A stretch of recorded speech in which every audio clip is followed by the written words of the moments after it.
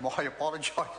I'm sorry to the member. I made that mistake the other day when I called Andrew Little Andrew Williams. Andrew Williams. That's right. You have the floor. Thank you very much, Mr Chairman. I take a call on behalf of New Zealand First in the Estimates Bill in regards to the finance debate. Mr Chairman, it is most disappointing as a New Zealander uh, to have to look at the figures that this government puts up because much of it is a litany of lies. And the reason I say that, the reason I say that, Mr Chair, is because New Zealanders have been robbed for the last five years of government contributions to the New Zealand Superannuation Fund.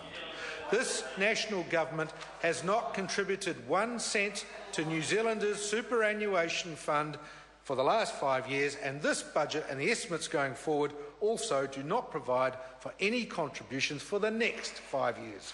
So, a whole decade under this government, New Zealanders are being robbed of their future retirement fund. That retirement fund to the year ended 31st of May 2014 is currently worth $26.14 billion. The average return of the fund since its inception, uh, inception uh, under Dr Cullen when he was Finance Minister has averaged 9.74%. The last 12 months, the fund has returned 17.2% return to the fund after costs. And in the last five years, the New Zealand Superannuation Fund has returned 16.8% average over the five years. These are incredible figures. And in the one month alone of May 2014, when the Finance Minister was issuing his budget, uh, in the one month the fund made 2.57% return for the one month. And yet the Minister of Finance tells us that it is poor fiscal uh, management to borrow any money to put into the New Zealand superannuation funds. It's when the government can borrow funds in the order of 3 or 4% per annum, and when a fund is returning 17.2% in the last year, basically this government is robbing the people of New Zealand in order to falsify the books and make sure that the budget looks okay.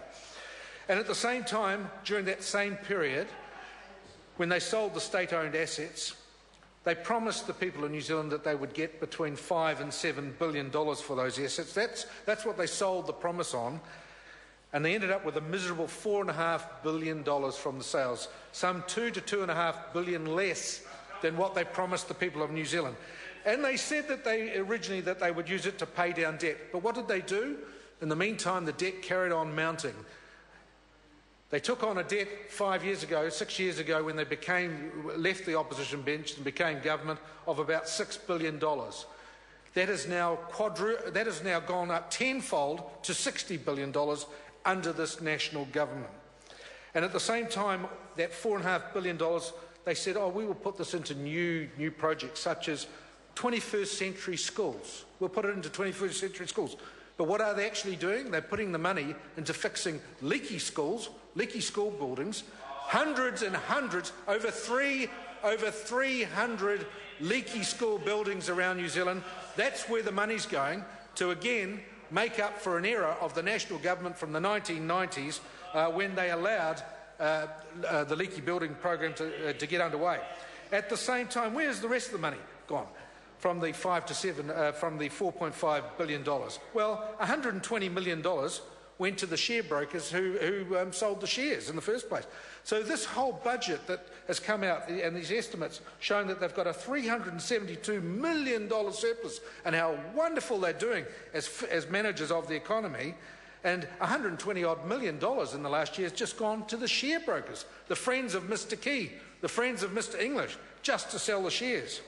At the same time, another $40 million went to pay for free bonus shares for those who bought into the, into the, uh, into the uh, state assets. Isn't that incredible? Get, they give away another $40 million to the 2.5% of New Zealanders who bought into the shares.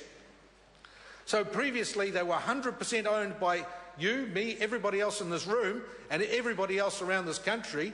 And now 2.5% of New Zealanders own those shares and $40 million was, is given to them to help pay for free bonus shares in the coming year.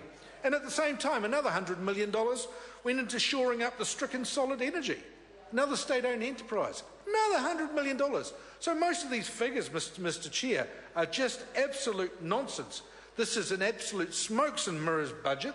The estimates going forward are absolute hogwash. This government, this government makes out that it's, that it's running a surplus, but in actual fact, if the media were to jolly well do some proper research, some, some proper investigative research, and show how they're not putting any money into the superannuation fund, how most of the money's. I call Paul Goldsmith. Mr. Chairman. Well, we've certainly seen a, a vision of